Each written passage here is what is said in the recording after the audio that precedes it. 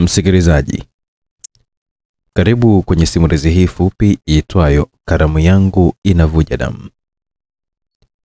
Ilikuwa ni asubuhi sana, nimeamka na mawazo mengi sana, nafikiria dunia kwa marefu na mapana. Moyoni nina kitu ambacho nakosa kwenye kusoma kwangu majarida mbalimbali. Nimesoma sana simulizi Facebook, nakosa ninachokitaka. Nimesoma sana vitabu, nakosa ninachokitaka. Nimesoma sana magazeti na kosa ninachokitaka. Msikilizaji, kuna kitu ambacho nataka kujua, ila sioni mwandishi yoyote aliyeandika kitu kama hicho. Ni kitu gani msikilizaji? Basi ungana nami katika simulizi fupi itwayo Karamu yangu inavuja damu. Je, nitaamua ukiandika mwenyewe au inakuwaje? Mtunzi wa simulizi hii ni mtaalamu Jogoo Poli ambaye unampata kupitia 0657 774 735. Mimi ni director Owen kutokea hapa Simulizi Maxi unatupata kupitia 0677 062 012.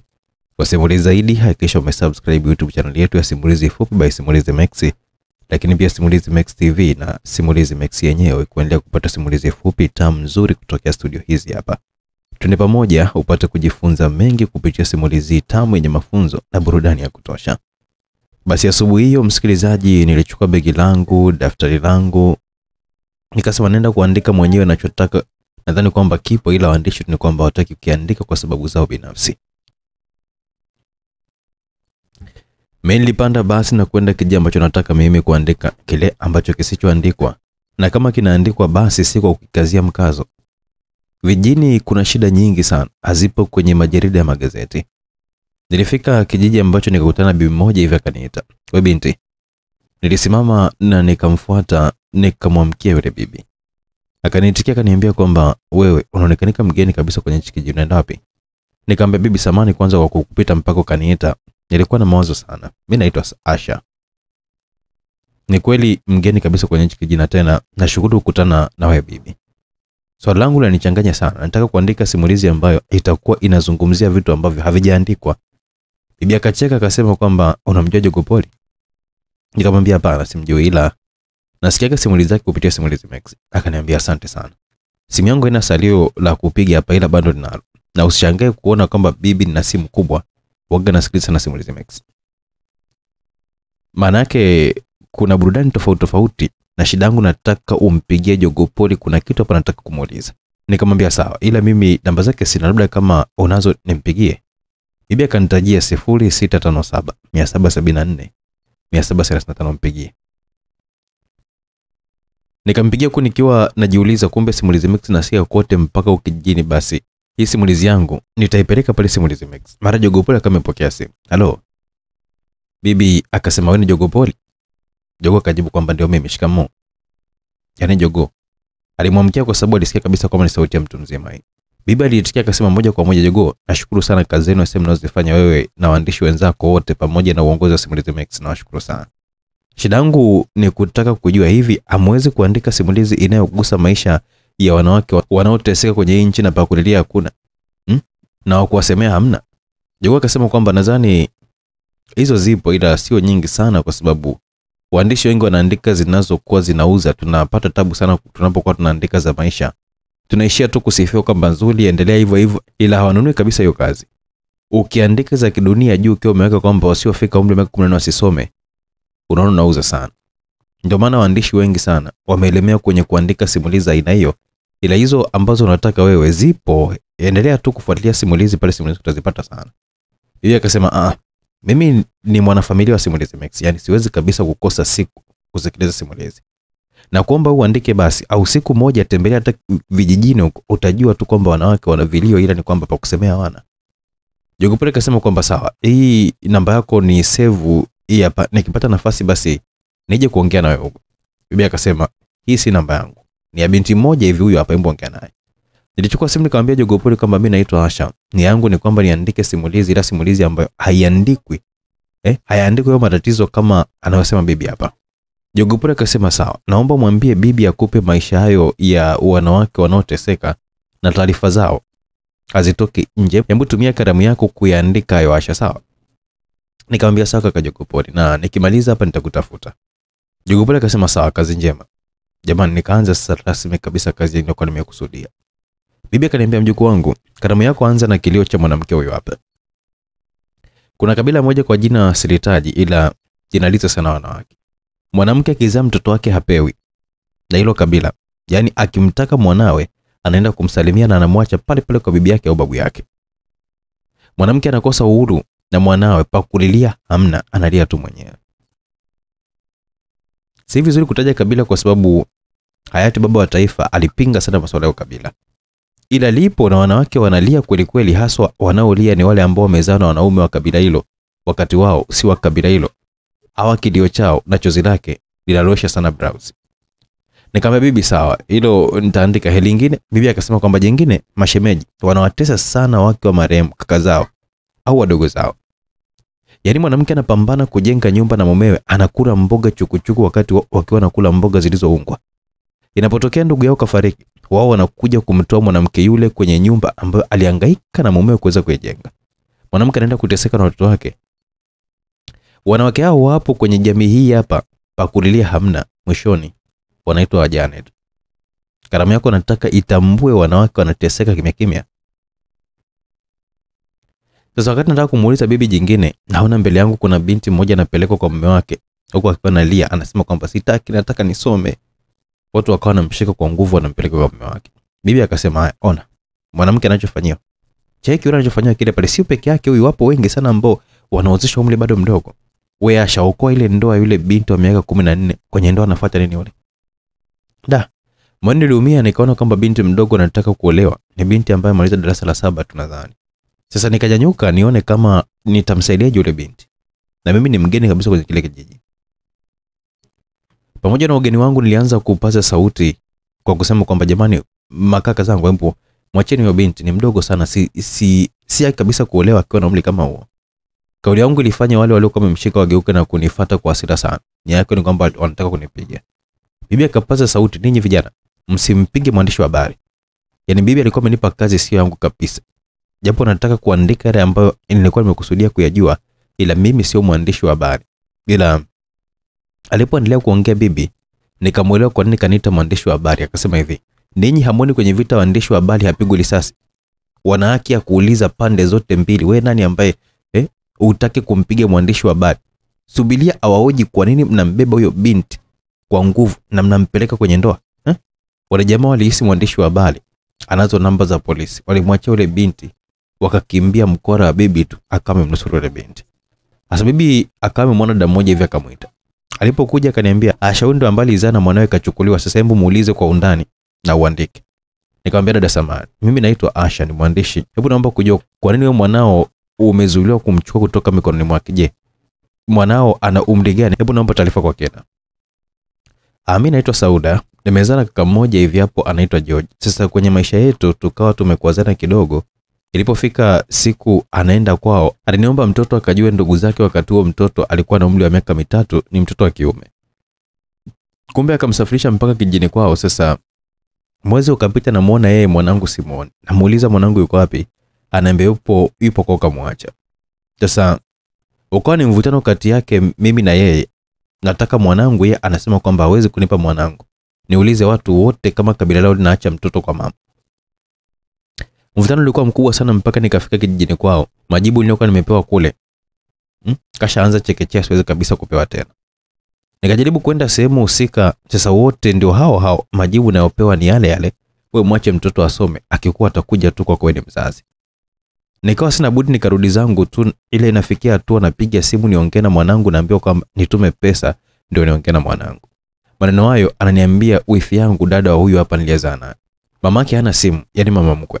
Mimi namwambia niliyezaa naye, majibu nayopewa na dada yake, ananiambia kwamba lazima akwambie tu hivyo, mimi sijatuma pesa kule siku nyingi. Sasa wewe unataka kuongea na mtoto tu, tuma pesa. Mtoto alielewi kwa simu kumuuliza anaendeleaje. Majibu yananiuma sana.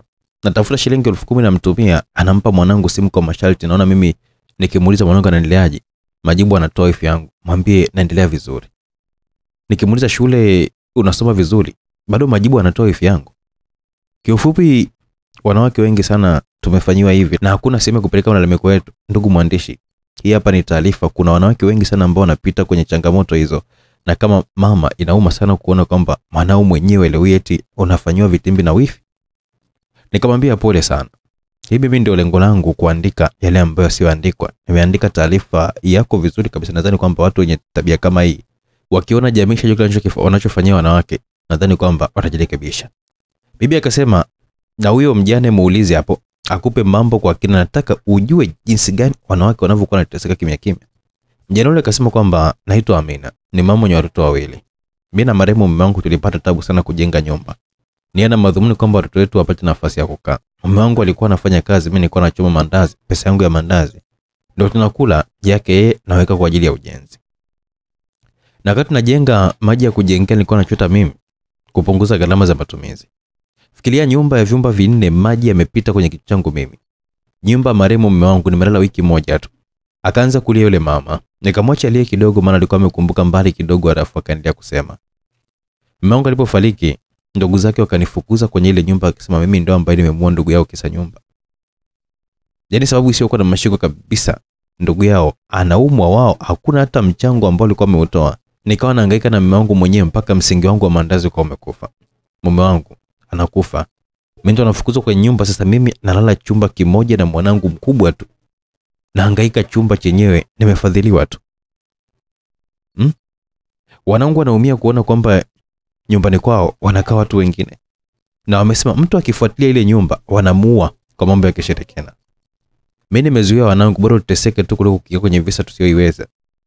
Sio peke yangu tu, sisi tuliofiwa na waume zetu, ndugu zao wenye tamaa hututesa kwa mali ndogo tu ambayo inakuwa imeachwa na marehemu. Kiufupi ni kwamba wajane tunateseka sana. Nikamwambia pole sana.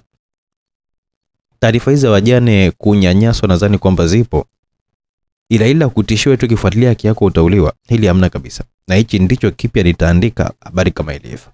Asa, nataka kuongea na bibi na kamatwa na wanamgambo wa kijiji, wakanipeleka kwa kiongozi wa kijiji. Diwani akaniuliza, we binti, nasikia mwandishi wa habari, nani kakupa ruksa ya kuweza kuingia kijiji cha watu na kuanza tu kuwahoji watu pasipo kibali chochote kile? Sasa mimi naona kwamba hili ni bara, mimi sio mwandishi wa habari. Najibu nini hapa? Naona bibi mtetezi wangu yuko pale kwa sababu alikuwa amenifuata, ila akawa amekaa kimya tu anaangalia mimi nitajibu kitu gani.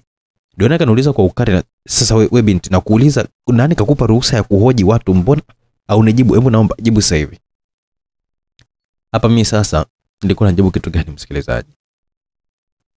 Bibi, bibi akasimama na kusema, we diwani, huyo hapa ni mwandishi wa habari na wewe unataka utafutwe ili utoe kibali cha kuingia kwenye kijiji ili umpe masharti ya kazi yake. Hiyo hapo ndio, ndio nia yako, si ndio? Sasa kama umemsikiliza mama vizuri, amewapa uhuru mpaka waandishi wa habari ili kuweza kufichua yale watu wasiokuwa wanajua yenye ukweli.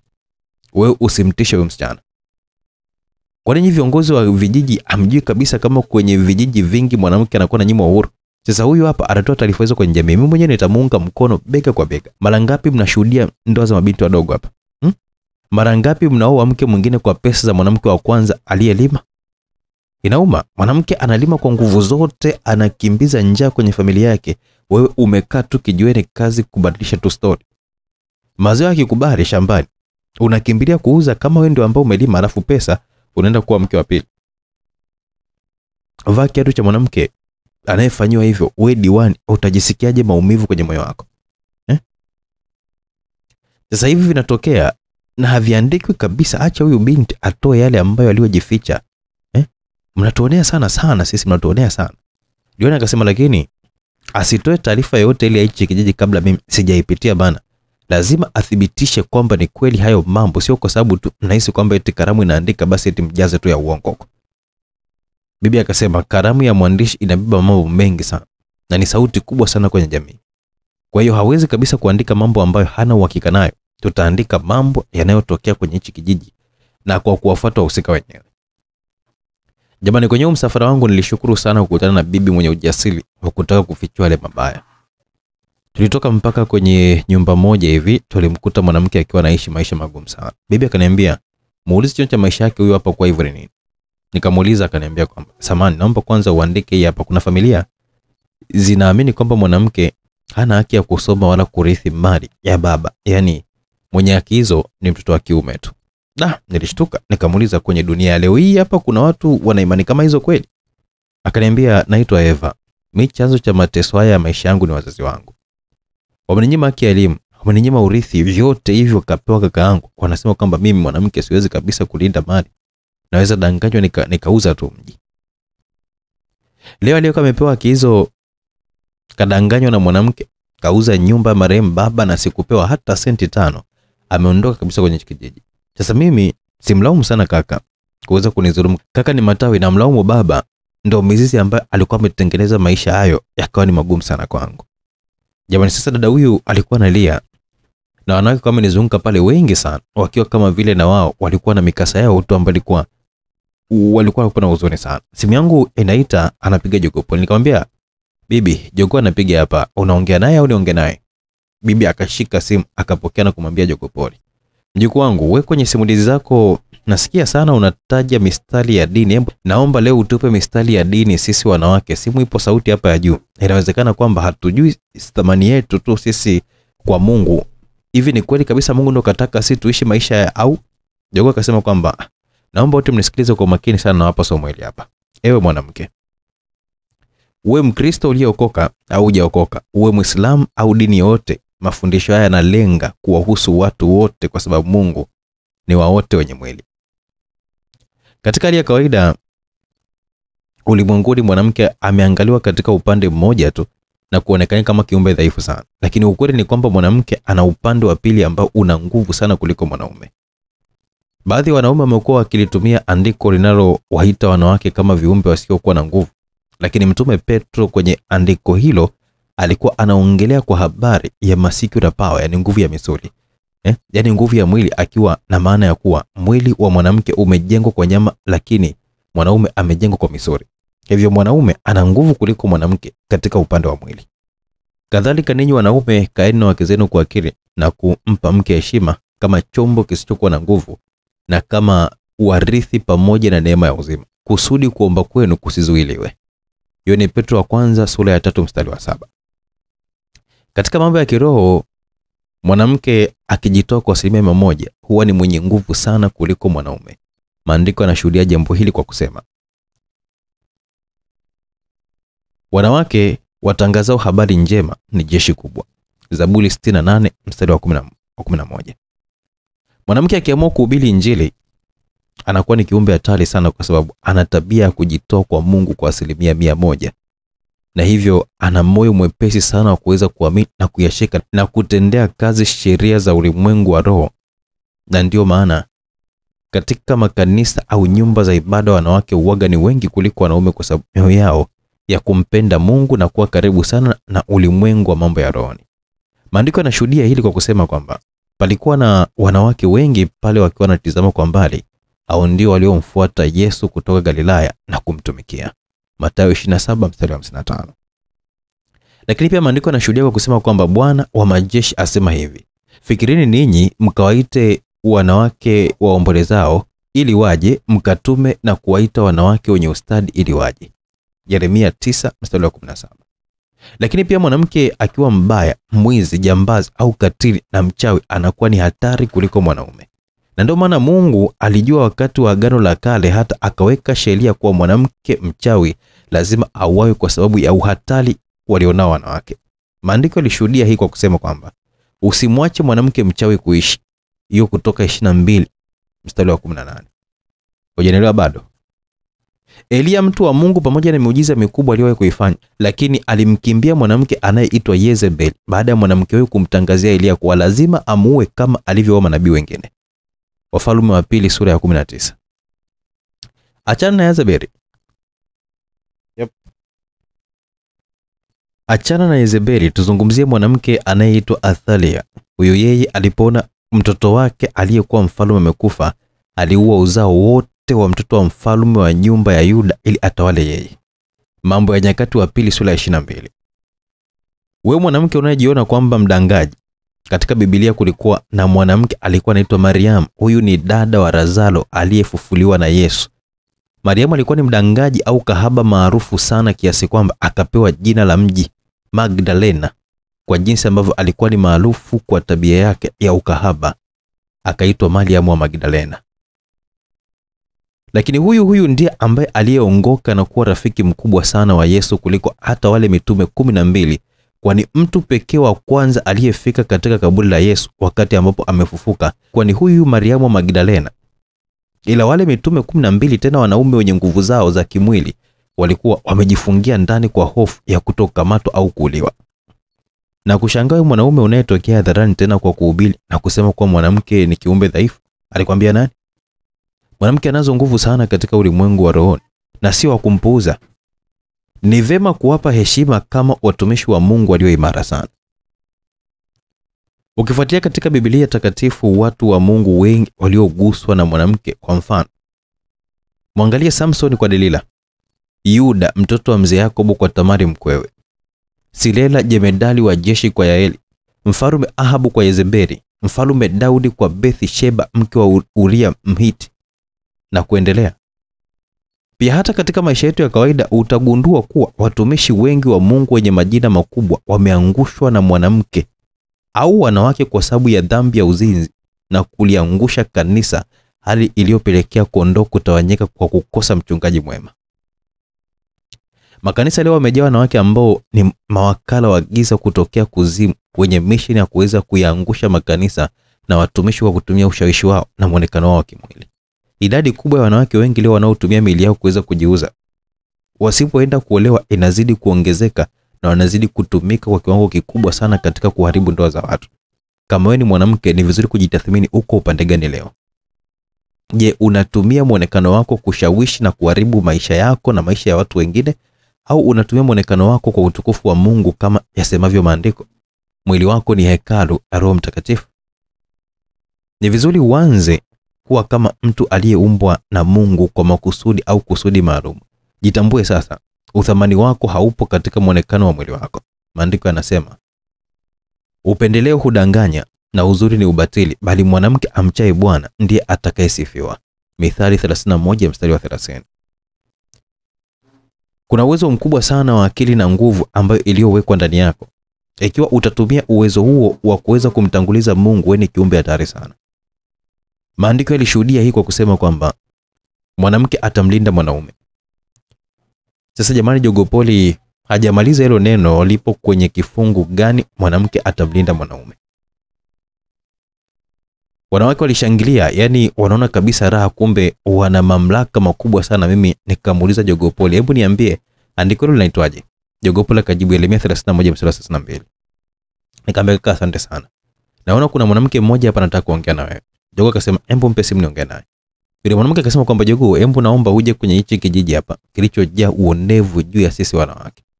Jamani, yule mwanamke hajamaliza kuongea na simu, bwanake sijui ni mumewe akawa ametokea akamshika, kataka ajue chanzo ni nini hasa. Anampiga makofi huko akiwa anasema, nani unaongea naye kwenye simu, mpumbavu? Ah, moyoni niliumia ise. Mwanamke anaitwa mpumbavu hivi? Hao wanaume wanatuchukuliaje sisi? Nikamwambia, we kaka, mbona unakosa ustaarabu? Jamani, nilichapwa kibao hicho nikadondoka chini na karamu yangu. Da, aliamsha hasira za wamama wote pale. Yani walimvamia na kumdhibiti na mikofi ya kumchangia yule jamaa. Bahati nzuri kwake, wanamgambo wa kijiji walikuwa wamewahi kwenye tukio na, na wakawa wameamlia pale. Bibi aliwahi simu yangu isije ikapasuka. Sasa wakawa wametokea wazee wa kiume wakasimamia kina mama, mnampigaje mtu anampiga mkewe? Yaani moyoni nikawa nimeumia sana kuona kwamba wazee wanaona kabisa mwanamke ana haki ya kupigwa na mumewe. Sasa wale wazee wanashangaa diwani kaja.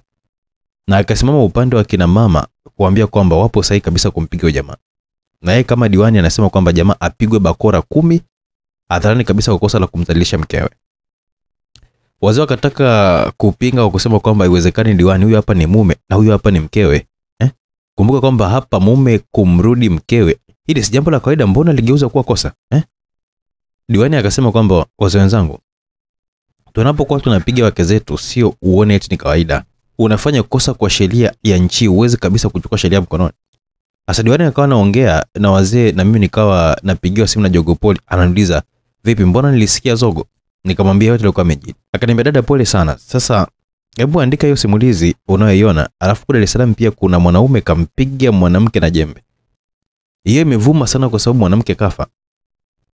Ila hizo ngumi za kimya kimya kila siku zipo huko Dar es Salaam, na kosa kubwa pale wanapowaozesha wanashindwa kuwapa somo la upendo wanatoa somo hili hapa mwanamke ni shamba mpande utakavyo halafu wanamalizia kwamba mwanamke inabidi umchunge siwalaumu kwenye masomo hayo ila wangewachambulia kwa kina ili wajue ndoa ni kuoneana huruma. Na mkipendana hata mmoja akiumwa mnakuwa kama mnaumwa wote. Sasa hivi wanawake jinsi ambavyo wanavyokuwa wanateseka kwenye ndoa zao hata mume akiaga anaondoka kikazi. Mke anasema mm, afadhali asee shida iondoke. Wanaume tunaitwa shida kwa sababu shida tunazokuwa tunawapa wanawake zetu. Tunasahau kwamba ukiua sisi tunakuwa mwili mmoja sasa dadangu andika kwamba kuna mengi sana utapata na usichoke kuniambia maana simulizi yako ni tofauti na zangu. Wewe unataka kuandika yasiyoandikwa ila yapo fanya kazi dadangu. Asante sana kwa kupokea simu ila ila dar es salaam ndo hivyo bwana sijui ni mbezi au kimara huko kuna mwanamke amepigwa na jembe ila huko kapigwa na ngumi. Sasa huyo wa ngumi tutaiona tu kwenye simulizi yako lakini ya jembe tumeiona mpaka kwenye mitandao. Jogoo alinipa maneno ya kunipa nguvu nikiwa naandika tu ile ambayo yaliokuwa anatokea pale wazee wakasema kwamba huyu diwani sasa hatufai kabisa. Anataka kuwapa wanawake sauti kwenye hichi kijiji. Diwani aliondoka. Wazee wakasema vijana wote embu acheni wake zenu. Huyu diwani atafanya wake zenu wapande vichwani. Baada ya siku moja jamani kuna vijana wengine hivi pamoja na yule ambaye alikuwa amempiga mkewe. Wakawaacha wake zao.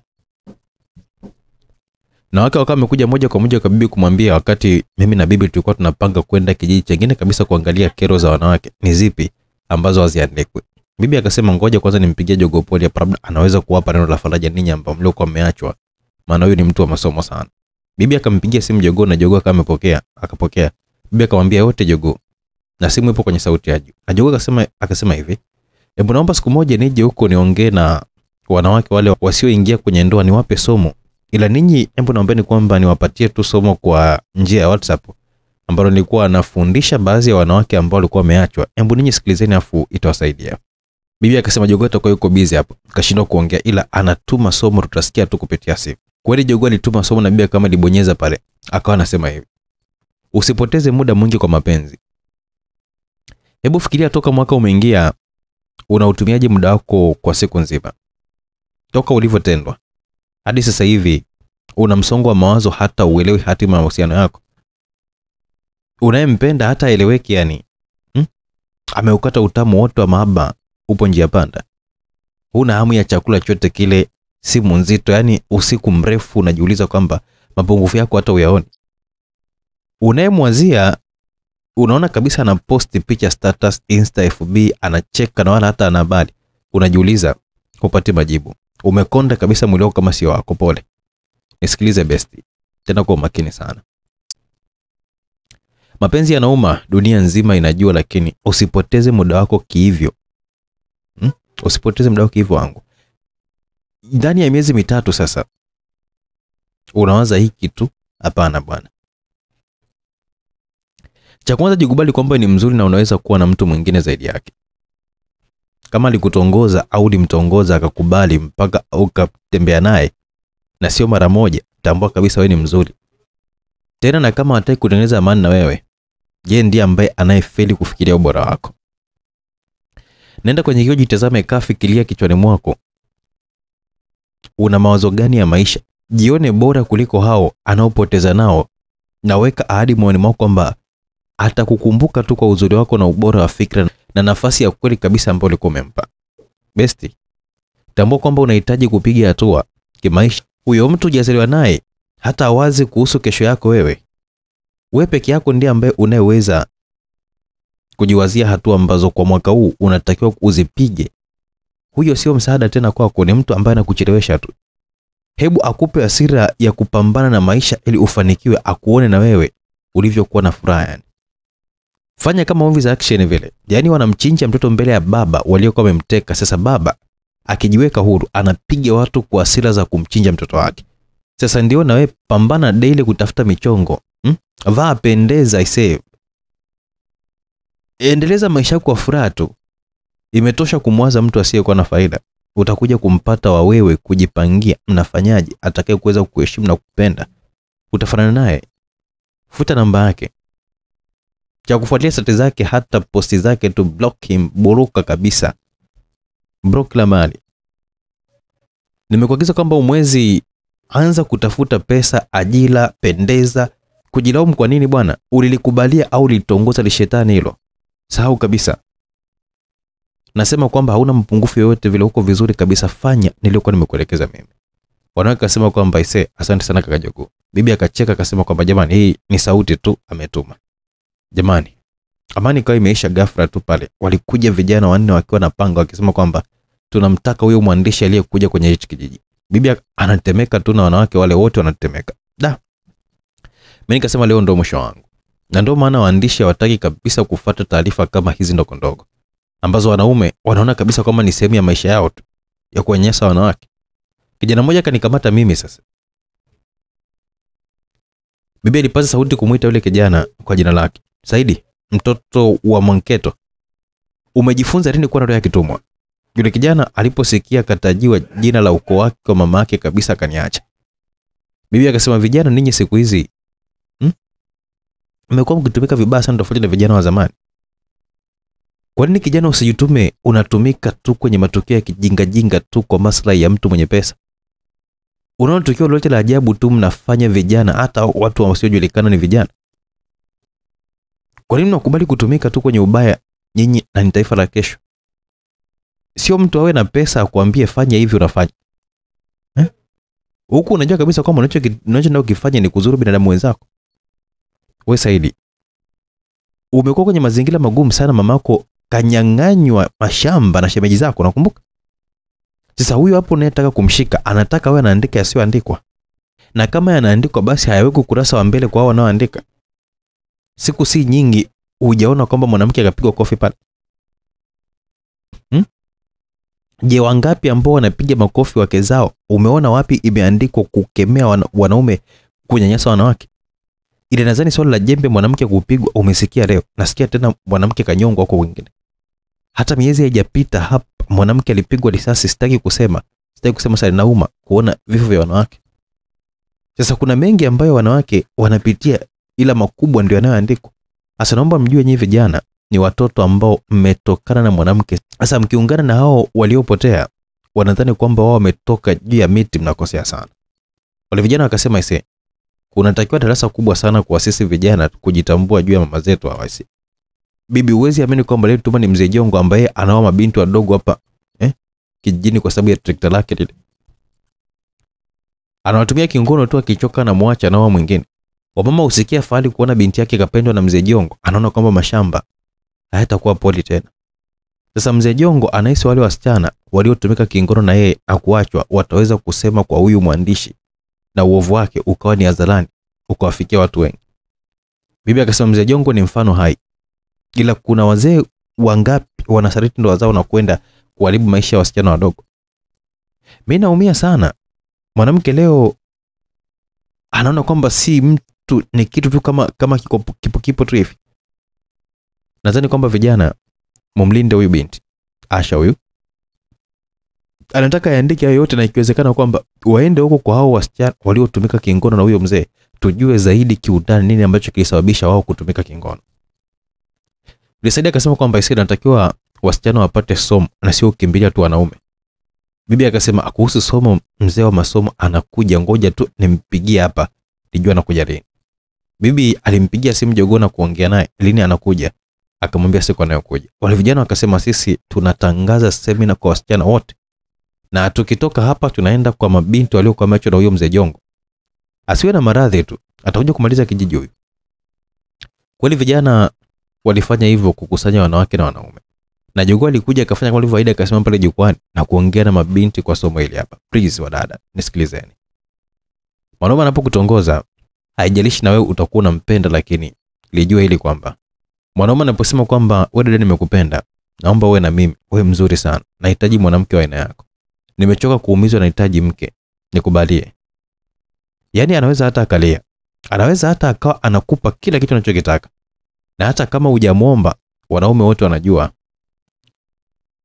wanawake wanataka ndoa, wote wanajua. Sasa anaweza akaishi kwenye huo ujuzi wa ninyi wanawake mnataka nini, akaigiza kule na kupenda na ukaingia king, ukampenda maidia. Hapa nisikilize kwa umakini. Mwanaume na zote alizokuwa amekufanyia uwaga hana nia ya kuwa na wewe, ila uwaga anatamani aone una maumbile gani na unajuaje kufanya mapenzi. Over. Asanyia wadogo zangu wengi ukiona anavyokuwa nakulilia vile na kupigia tu kelele kwamba anakupenda wewe, unazama moja kwa moja. Ukiwa unajiaminisha kabisa kwamba umepata bwana mme, unazama auambiliki kabisa. Kumbe mwenzako hana nia ya ndoa wala uchumba, mwenzio anataka tu kufanya mapenzi na wewe. Ili liweke kichwani. Mwanaume kuoa sio anakurupuka. Mwanaume anaangalia kwanza kajipangaje. Je, ana nini cha kuishi na wewe pamoja na familia? Hata kama ni mfanyakazi, ila uwaga na malengo ya kuweza kufikia hatua fulani kabla ya kuoa. Kwa hiyo wote mtakao mtakao mkubalia kipindi bado ana mipango yake ya kimaisha, mtaishia kuumia tu. Iliweka kichwani. Na hivyo basi unapotongozwa nawe kuwa na akili kama yake. Madada wengi sasa hivi mkitongozwa hamwezi kuwa na misimamo mwisho, mnakwenda tu kwa mwanaume, ila anaweza akakuvua nguo ya ndani, atapenda maumbile yako na ufanyaji wa mapenzi, utamfurahisha hapo, atakung'ania hata kusumbua akili. Yeye ana mpango wa kuoa, anataka akuchoshe tu, akisha kukinai huyo anaenda kwa mwingine. Wadada wengi mmejiachia na mibwana ya aina hii hapa. Yaani ni hivi, ukimaliza tu kusex naye unaona hajibu message wala upigiwi simu na majibu ni mkato mkato tu yanaanza. Bora tulia tu, maana mambo mazuri hayataki haraka.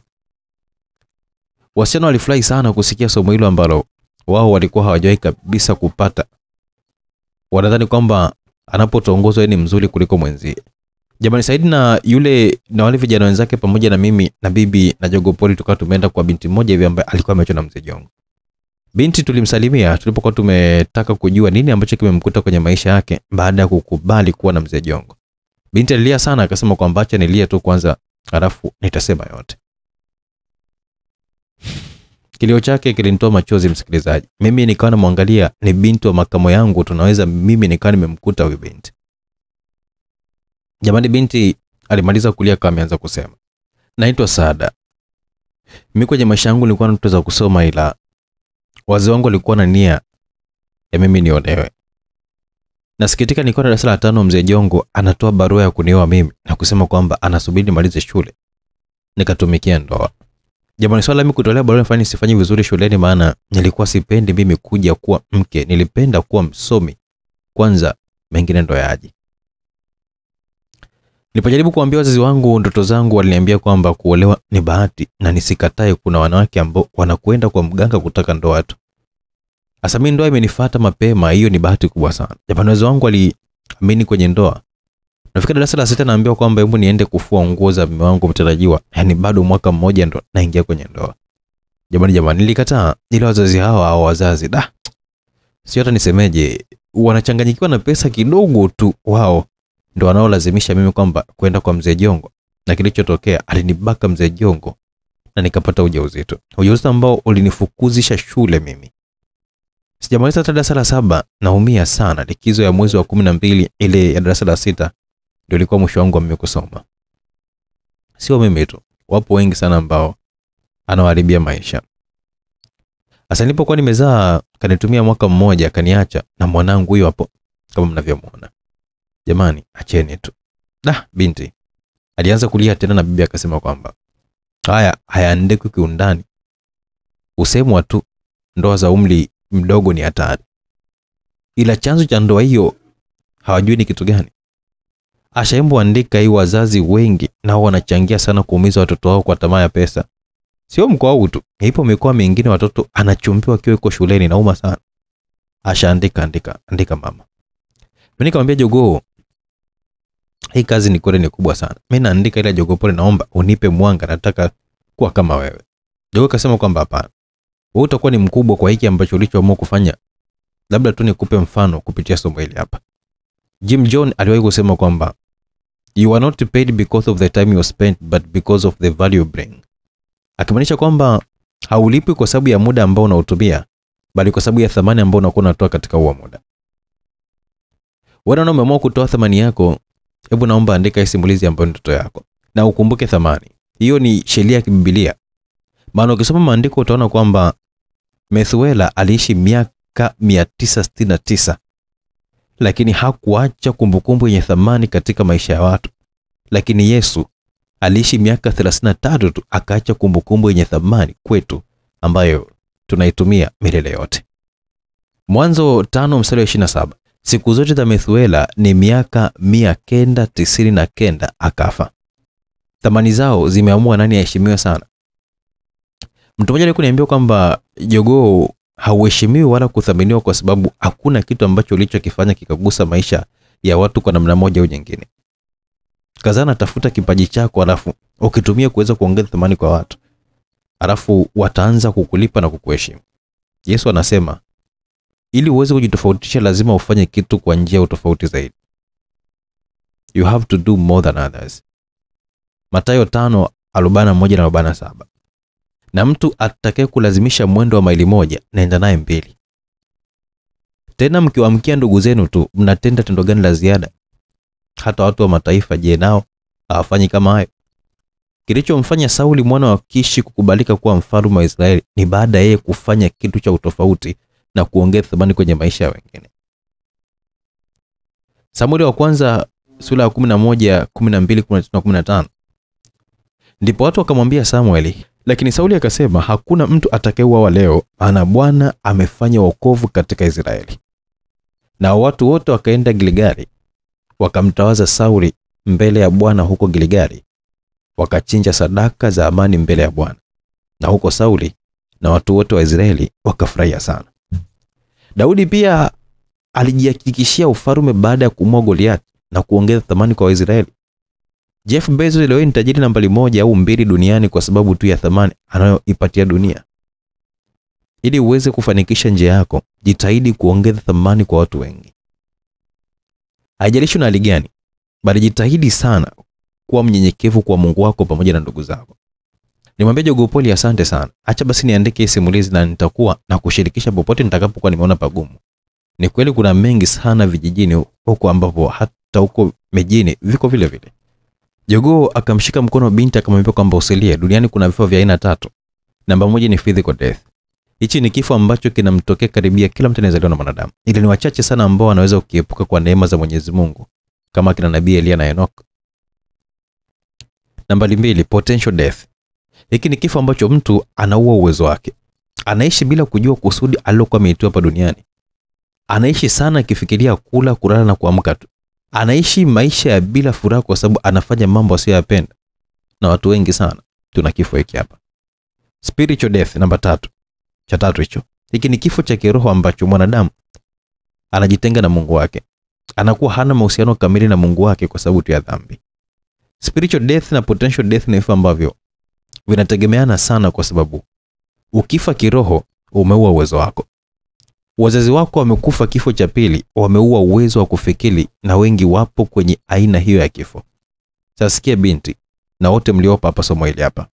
Mungu alipoziumba samaki alisema na maji. Kwa hiyo huwezi kuupima uwezo wa samaki na kupata uwezo kamili wa samaki nje ya maji.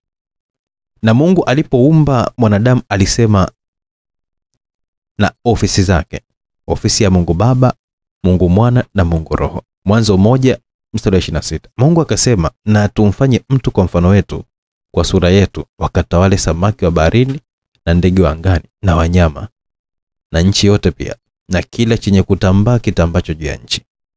Kumbe ili mwanadamu atumike katika uwezo wake wote, anahitaji mahusiano kamili na Mungu wake, personal relationship. Ukikosa mahusiano binafsi na Mungu, unakuwa umekufa wakati unaishi. Ndicho kilichomkuta Adamu na Hawa bustanini Edeni. Mungu alisema kwamba watakufa, lakini hawakufa kimwili, bali kiroho na katika uwezo ambao Mungu alikuwa amewaumba. Mwanzo tatu mstari wa tatu na nne sita na saba afu tisa mpaka kumi. Lakini matunda ya mti ulio katikati ya bustani Mungu amesema, msiyale wala msiyaguse, msije mkafa. Nyoka akamwambia mwanamke, hakika hamtakufa. Mwanamke alipoona ya kuwa ule mti wafaa kwa chakula, wapendeza macho, nao ni mti wa kutamanika kwa maarifa, basi alitoa katika matunda yake akala, akampa na mumewe naye akala. Walifumbuliwa macho yao wote wawili, wakajijua kuwa wako uchi, wakashona majani ya mtini, wakajifanyia nguo. Bwana Mungu akamwita Adamu akamwambia, uko wapi? Akasema, nalisikia sauti yako bustanini, nikaogopa kwa kuwa mimi ni uchi, nikajificha. Kujiona wapo uchi maana yake ni kwamba walipotelewa na utukufu wa Mungu. Hawakujiona tena kama watoto wa Mungu, bali wako mbali sana na Mungu, na ndipo uwezo wao ulipoharibika na kazi ya kutunza bustani iliyokuwa furaha sana ikaanza kuwa ni mateso. Kuzaa kwa mwanamke ilikuwa ni furaha na jambo la kutamanika, ikageuka kuwa furaha iliyojaa uchungu. Mtu yote ambaye ameishi maisha yake katika utimilifu, basi alikuwa na mahusiano binafsi na Mungu na Mungu alijitambulisha binafsi kwake. Bwana Yesu aliishi miaka michache sana, miaka 33, lakini katika utimilifu kiasi cha kusema kazi niliyotumwa na Baba nimeikamilisha, kwa sababu ya uhusiano kamili kwenye utimilifu na Baba yake ambaye ni Mungu wetu sisi. Live your legacy like Jesus, live to your full potential, kwamba acha kumbukumbu yako njema kama Yesu, lakini ishi kwenye umaalumu wako wa mwisho kabisa. When God see Adam, he saw the world. When God see Ibrahim, he saw the nations kwamba Mungu alipomwona Adamu aliona dunia, lakini Mungu alipomwona Ibrahim aliona mataifa. Je, Mungu anapokuona we anaona nini? Maana anayajua mawazo anayokuwazia wewe, asema Bwana. Ni mawazo yapi hayo? Tengeneza mahusiano naye, atakuonesha uyapasao kuyatenda. Jamani, bia alisema jogoo, na kwamba ukaekeke jini kidogo, utupe tupe tu madini hayo ambayo tukitoka kuchimbua yasiyokuwa Eh? Uko tunapata na somo kabisa, ni masomo mazuri sana na anajenga sana. Jogoo akasema mimi naenda mjini, ila nitakuja tena kukaa kama wiki mbili hivi, na nitakuwa nimewapa hayo mnayoita madini, mimi naita masomo. Saidi na wenzake akamwambia jogo hebu tuachie na sisi somo tuishi nalo. Jogoo akasema kwamba hebu naomba mzingatie ile hapa, chochote kinachopewa nafasi katika maisha yako ni lazima kiongezeke. Jiulize ni yapi ambayo anapewa nafasi katika maisha yako ili kugundua kama ongezeko lako lina athari chanya au hasi. Ukipanda uchungu kupitia hasira na kuto kusamehe utavuna uchungu. Ukipanda kuto kujikubali na kujiona mnyonge, hutabadilika na hakika watakuchukulia wewe kwamba ni mnyonge. Ila ukijikubali, utakubalika na utakula mema ya nchi. Kazi kwako. Vijana wale wakasema kwamba sisi tunajikubali. Bibi akasema kama mnajikubali mna basi msiogope chochote, twendeni tukachimbua aliyojificha. Semeni twende wapi? Vijana akasema twendeni kwa wanawake walioolewa matala, labda kuna changamoto tu zao ambazo hawezi kabisa kuzipeleka kwenye vyombo vya habari. Jogoo aliondoka na sisi tukawa tumeenda kwa mama ambaye alikuwa ameolewa matara. Bibi alijua kwamba anaanzaje kumjaza kwa maneno ya hekima ili aseme kuna nini kwenye Matara ambayo watu hawayajui ili wale watakaoolewa matala wajue kabisa haya mambo yapo yapo huko. Jamani, yule mama naye akaanza kulia kidogo. Mimi nikasema ah, mpaka kwenye ndoa Matara pia kuna kilio. Acha nikae nione kilio hiki hapa kinatokana na nini. Nimeshika kalamu yangu nataka kuandika. Mama yule akanyamaza akasema kwamba sasa acha niongee aliyomo kwenye matala jamani. Yaani jamii inasema bi mkubwa na wewe bi mdogo. Inafahamika hivyo. Ukiwahi kuolewa unaitwa bi mkubwa na wa pili kuolewa anaitwa bi mdogo. Nasema hivi kwa sababu wengi wenu mnajua kabisa hivyo, ila kwenye ndoa yenyewe sasa, jamani, bi mdogo anakuwa ndo bi mkubwa, kila kitu anapanga yeye. Sisi wake wa kwanza tunapitia maumivu makubwa sana ya semeki, na hakuna pa kulilia. Ukienda kwa wazee unasema kwamba ndoa uvumilivu. Ukija huku unatamani kuomba talaka, unaona kabisa kwamba unatesa watoto wako unabaki na kuumia na mateso kimya kimya tu kwa mumeo. Mi nakwambia ukweli kabisa, usipokuwa na imani unaenda kwa mganga kumloga mke mdogo. Na nasema hivi kwa sababu inauma, inaniuma sana. Hawa wake wadogo wanaturoga sana, wake wakubwa tuonekanike kama vile ni matambala tu ya deki kwenye ndoa zetu. Ndio maana nitangulia kusema kwamba sisi tunaitwa wake wakubwa na jamii, ila kwenye ndoa si ni, wadogo tu. Wanaume wengi wameshindwa kabisa kuweka usawa kwenye ndoa ya matala. Mi nasema kwa sababu sisi wanawake tuliokuwa tumeongezewa wake, kila mmoja ukimwona analalamika tu kimya kimya, na ninakwambia ukweli, kama mwanamke hujaza naye umwongezee mke. Kwa wasichana wa sasa hivi hawa kizazi cha mwendokasi, mwanaume akienda kulala kwa bi mdogo siku tatu, naye anaenda kwa bwanake wa zamani. Kitakachotokea hapo ni maradhi tu. Mi nasema kwamba ni mengi sana ambayo nahisi kwamba kitabu kidogo hicho nisijaze kabisa mimi tu, na kuna wanawake wengine wengi wana kero zao tu, japo haziandikwi. Kiufupi, kwenye Matala wengi wetu hatuna amani kabisa. Bia akasema Matala sio mbaya kwa mujibu wa dini, ila wanaume wenyewe wanashika somo tu pale, oa mke wa pili, ila somo wafanyie usawa wote, usipendele hata sehemu moja. Ila walishiki kabisa. Wapo wanawake wengi ambao wanateseka sana, ila nachoweza kusema ni kwamba Asha, kwa hii simulizi yako wakumbushe tu mashehe wawape darasa pana kabisa sana wanaume au wanaotaka kuwa mke wa pili, wajue ndoa ni nini, kwa sababu wengi wao wanaoa tu kwa sababu tu kipato kimeongezeka. Wengine wanaoa kwa sababu tu ya kuweza kumkomoa mke wa kwanza. Yaani anapokea ushauri wa wahuni, anaambia kwamba mke akiwa jeuli, mwolee mke wa pili, mwenyewe atakuheshimu. Wapo wenye kuwa kwa kufuata ushauri huo. Naomba Asha usahau kuambia mashehe wawape darasa pana sana wanaume, kwa sababu mwanamke anafundwa. Mwanaume anaoa hata ajui nini maana ya mke eh? Kakuwa anasema tu kwamba sasa nataka na mimi niitwe mume. Mimi nikamwambia bibi, nitaandika yote haya. Tukarudi mpaka nyumbani kwa bibi. Wale vijana wakasema, mpigie jogoo hapa atuache na ujumbe kidogo, na sisi atujenge tu wanaume. Bibi akapiga simu kwa furaha sana kuona kwamba vijana wameamua pamoja na sisi. Jogoo akapokea simu akafanya kama alivyokuwa ametaka ujumbe, akawapa ujumbe huu hapa. Kulingana na tafiti, inaelezwa kuwa moja kati ya laumu kubwa sana la wanawake kwa mwanaume kwa wanaume ni kwamba wanaume hawasikilizi wanapokuwa wanaambiwa baadhi ya vitu, hususani wanapokuwa wanaelekezwa matatizo yanayokuwa na wakumba wapenzi wao. Men don't listen, hawasikilizi wanaume. Saikolojia ya mahusiano inasema kuwa wanaume ni watu ambao wanapoleta tatizo wao wanatafuta majibu, yani solution oriented, na wakipata wanaweza kabisa kukatisha mazungumzo na kukupatia jawabu la tatizo lako. Kwa hiyo ugomvi mwingi kwenye ndoa na mahusiano huko hapa. Mwanamke anapokuwa anaelezea tatizo kwa mpenzi wake, akili yake na moyo wake unahitaji kupata huruma, yaani her husband or her boyfriend msikilize na kumpatia maneno ya faraja na kumwonea huruma kabla ya kutoa suluhisho la tatizo hilo. So shida inaanzia hapo. Wanaume wengi huona kuonesha huruma ni kupoteza muda, ni bora kumpatia suluhisho tu. So my brother, anapokuja kukuelezea shida yake, jaribu kwanza kumwonea huruma na kumtia moyo kabla ya kumpa suluhisho la tatizo lake. Unapokuwa unamwonea huruma, tafsiri yake ni kwamba umeona uzito wa tatizo alilonalo na upo tayari kulibeba pamoja na yeye. Na mwanamke atatafsiri kwamba unampenda na yeye atazidisha kukuheshimu na kulinda upendo wake kwako.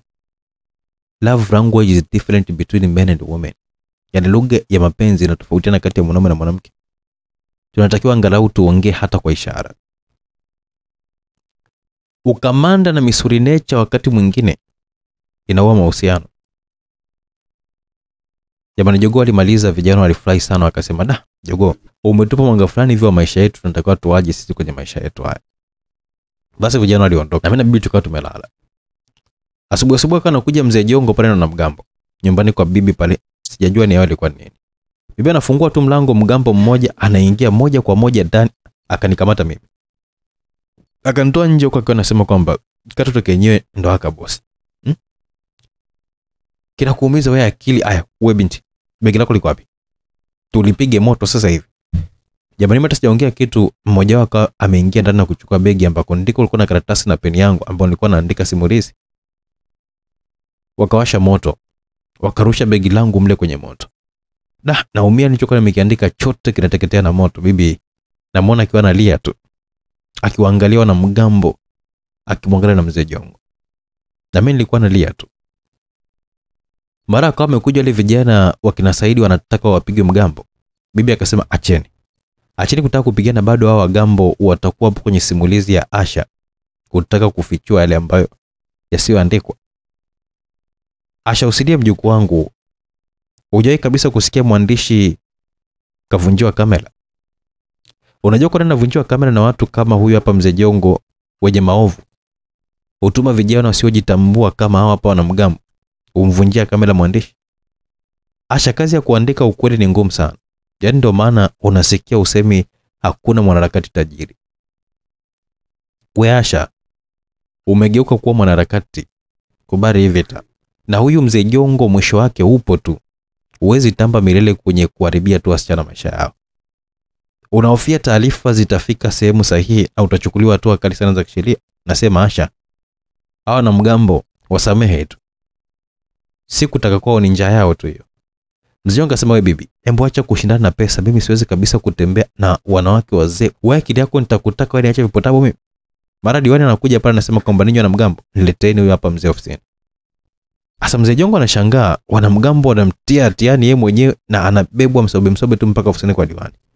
Na diwani akaitisha kikao kizito sana cha wananchi. Mimi namwambia bibi sasa karatasi zangu zimeungua ndo nimepoteza simulizi yangu. Bibi akasema kwamba hapana. Karatasi zako zote zipo. Mimi waga nazitoaga tu kwenye begi lako na usiku nakuwa nazisoma kwa umakini alafu nazirudisha asubuhi. Moyoni nilifurahi sana akasema simulizi yangu bado ipo. Tulienda kwenye hicho kikao cha diwani. Diwani akasema wananchi nimewaita hapa kuongea na ninyi. Kuna matatizo mengi sana ambayo yanatokea ndani ya mitaa yetu mitaa yenu ila taarifa hazifiki juu. Nakili kwamba mimi mwenyewe ni mkosefu ila tupo wengi sana wenye kukosea kwanza nawapa rawama wenyekiti wa serikali za vijiji vyetu. Kwa mjini huko wanaitwa wenyekiti wa serikali za mtaa. Hawa ndio ambao wanajua mtaa husika vizuri au kijiji husika vizuri. Na kama kuna ndoa za wasichana wadogo wanaokuwa na- wanafutiwa ndoto zao za elimu wao ndio wa kwanza kabisa kupewa rawama na mimi. Japo wao watapeleka lawama kwa wajumbe na wajumbe watapeleka lawama kwa wazazi. Sasa leo tumeitana wote hapa wazazi wapo wajumbe wapo wenyekiti wapo na mimi diwani nipo. Sote si ni wakosefu na ndio ambao tunaipa sifa mbaya serikali. Na tunawapa kazi ngumu jeshi letu la polisi.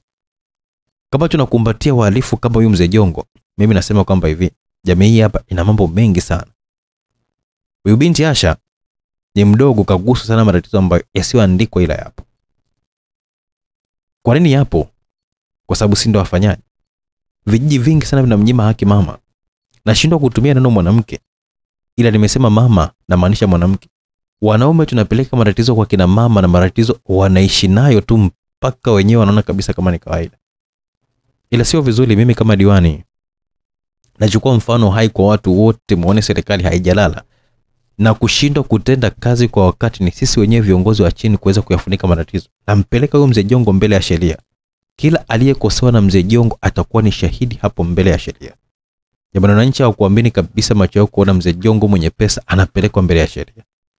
Jamani kijiji kwa mara ya kwanza wanaona defender imekuja kumchukua mzee jongo na kuondoka naye. Hasa ndio walimu wanafunga ukweli kwamba watoto wengi wa darasa la sita wa kike walikuwa wanarubuniwa na mzee jongo kutembea nao. Yaani kila mmoja akasema lile baya la mzee jongo. Mimi naandika tu simulizi yangu ambayo hata sijui nitahitaje, bana naona kabisa matatizo ni mengi ambayo mengine sijui kama nitaweza kufanikiwa hata kuyapata yote. Hatimaye mzee jongo akawa amefungwa na trekta lake likawa limekabidhiwa kijiji likawa ni trekta la kijiji. Sasa vijana wakawa wananishukuru sana mimi. Ili wanasema kwamba nimwite jogopoli aweze kuwapa somo ili kuwakomboa na wao. Maana vijana wengi walikuwa wanaamini kwenye ushirikina huko kijijini. Sio kijiji hichi tu ni vijiji vingi sana vijana wengi wanaamini kwenye ushirikina. Jogoo nilimpigia simu nikamwambia yote. Akaniambia sio kijiji tu vijana kuamini kwenye ushirikina hata huku mjini. Vijana wengi wanaamini kwenye ushirikina ila kimya kimya. Hmm? ila kupitia simulizi yako naomba nije kutoa somo moja hivi liwazindue vijana. Na wewe usikosee kupanga matokeo ya mama wote waliokuwa wamekupa changamoto zao jamii ijue hayo sawa? Nikamwambia sawa. Asa jogoo akawa anakuja kijijini kuongea na vijana wote na vijana kama wote hivi wakawa wamejaa wanamsubiri. Jamani jogoo alifika sasa uh, kwenye kundi la vijana akawa ameanza kuyasema haya. Jamani, naomba utulivu mwe makini kabisa kunisikiliza maana nataka kuongea maneno ya wafungue. Vijana akasema jogoo ongea. Wote tupo na peni hapa na daftari. Hapa tunakusikiliza. Jogoo akaanza kusema hivi.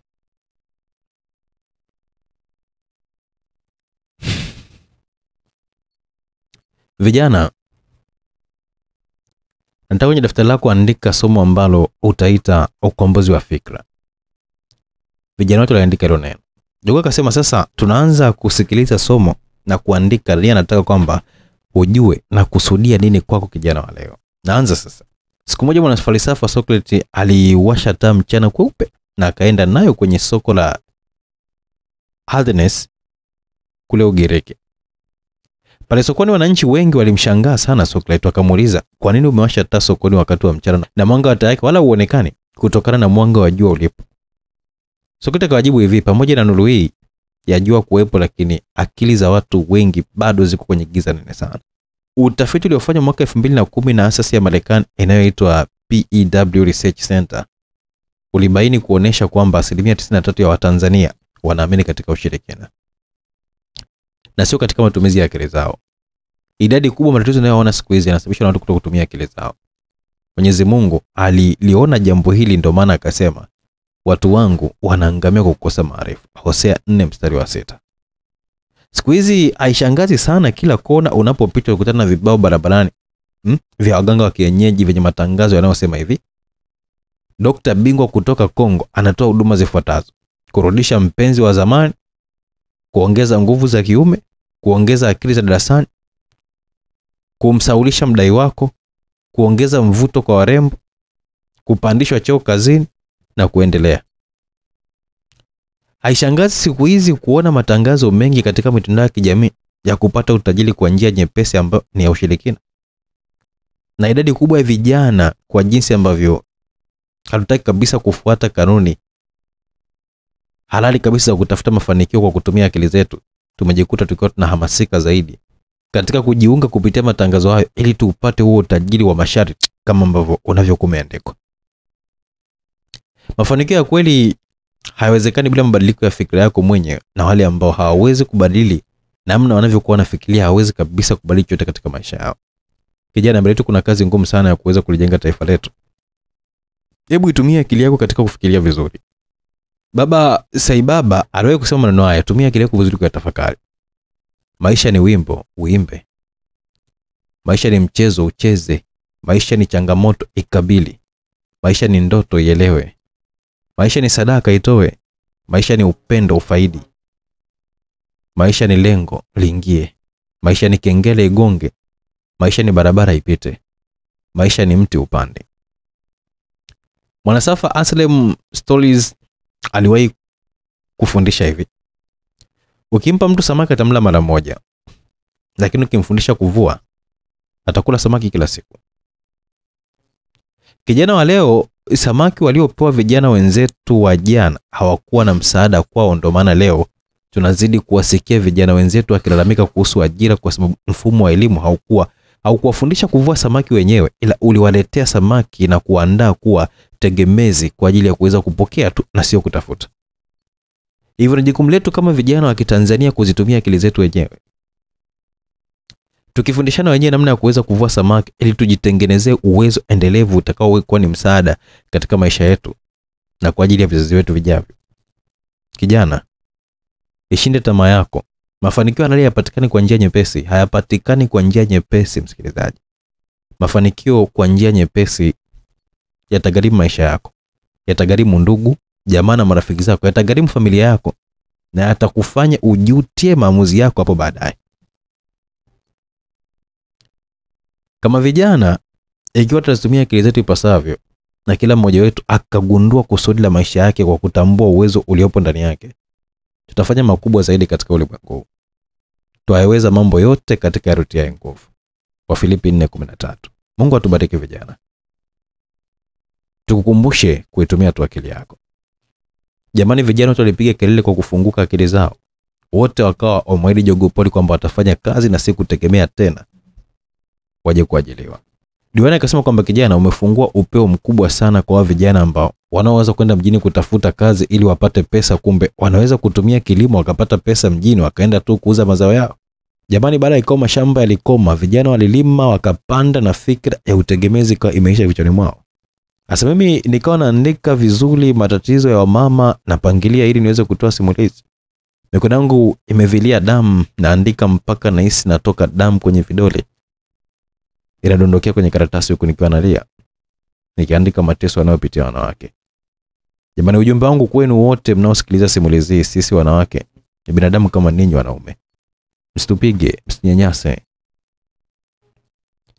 Najua kwamba kuna mengi sana ndani ya maisha ya wanawake wanateseka, wanateseka nayo, ila kwa mujibu wa haya machache, naomba baba zangu, kaka zangu na wajomba zangu na babu zangu, kiufupi tu ni kwamba wote wanaume. msinyasi jamani wanawake, oneni vifo vya karibuni, risasi na jembe da. Nashindwa hata kuendelea, nabaki tu nalia, karamu yangu imejaa damu. Jogopole kanibembeleza kaniambia kwamba na naomba niwaambie vijana kwamba tufanyeni kazi kwa bidii na sio kutesa wanawake. Na wazee wenye tabia kama za mzee wangu, naomba muache kufanya hivyo. Acheni watoto wa kike wasome. Na nyie mnaooa matala, wekeni usawa kwenye ndoa zenu. Na nyie mnaochukua watoto, wapeni nafasi watoto wawe na mama zao. Ninyi ambao mnakuwa na wadhulumu wajane, embu acheni hizo tabia, ni dhambi kwa Mungu na tabia mbaya sana kwenye jamii. Mimi sina mengi zaidi ya kusema kwamba upendo utawale. Nikamwambia Jogopoli, simulizi yangu nihitaji mimi. Akaniambia hapo kwenye karatasi kuna nini hapo? Nikamwambia damu. Akatokea bibi akasema kwamba andika karamu yangu inavuja damu. Nikatabasamu kidogo, bibi kama inipa jina la simulizi yangu, na nikamwambia bibi, nitakuja tena kijini kufuatilia mambo mengine. Bibi akasema haya, mimi naingoja tu Simulizi Mix nisikie ujumbe umefikia Watanzania wote kupitia Simulizi Mix. Jogopora akasema bibi, Simulizi Mix inasikika kote duniani. Nadhani kwamba watu wote watasikia, mpaka wenye tabia kama hizo watasikia, ila waombe tu wawe mabalozi wa kuweza kufichua maovu kama ya mzee Jongo hivi ambaye anatumia pesa vibaya na kuharibu maisha ya wanawake wadogo mashure Bibi akasema ah, nadhani wakisikia simulizi watakuwa mabalozi wazuri sana, wasiwafiche mtaani au vijijini huko, sio vizuri kabisa. Jamani, niliagana na bibi na kuondoka zangu ndani ya kijiji. Naomba wewe ni balozi jamani, tusiwatese wanawake na kuwa balozi mzuri kwa kuwashirikisha watu wengi wezavyo simulizi wapate kusikiliza na kujifunza masomo mazuri sana ya simulizi juu ya kuwanyanyasa wanawake. Huu ni mwisho wa simulizi fupi itwayo Karamu yangu inavuja damu. Mtunzi akiwa ni Jogopoli. Unaweza kumpata kupitia 0657 774 735. Mimi director wenu kutokea hapa Simulizi Mix. Unapata simulizi zetu fupi kupitia channel ya Simulizi by Simulizi Mix, lakini pia channel ya Simulizi Mix TV, bila kusahau pia channel ya Simulizi Mix. Kote kwa subscribe na endelea kuwa nasi siku hadi siku, sababu tuna simulizi zetu kila siku, burudani na elimu, ndio mambo na kusogezea siku kila siku. Tukutane katika simulizi fupi ijayo. Unaweza kurudia kupitia simu 0677 062 012. Chao.